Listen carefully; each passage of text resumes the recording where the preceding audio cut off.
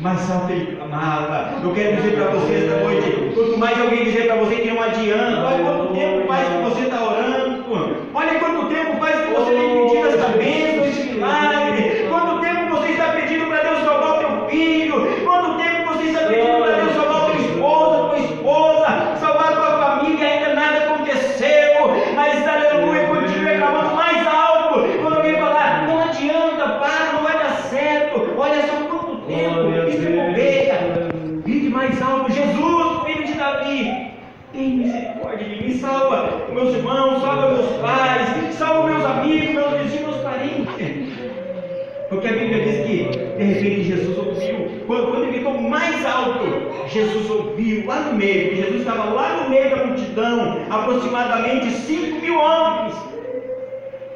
Ele falou: traga este homem. Oh, Jesus.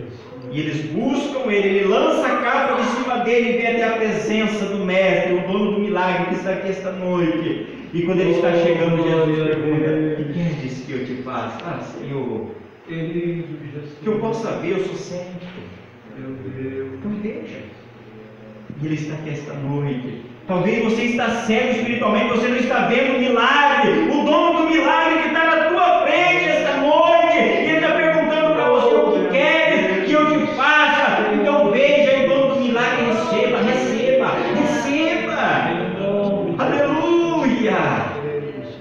Glória a Deus! Aleluia! Receba o teu milagre.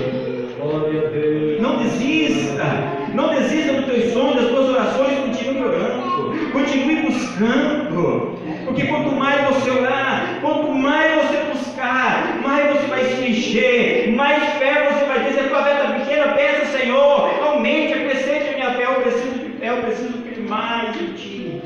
Aleluia, Ele vai te abençoar. Eu quero te convidar a estar de pé esta noite. Glória a Deus. Aleluia. Aleluia. Você que veio crendo,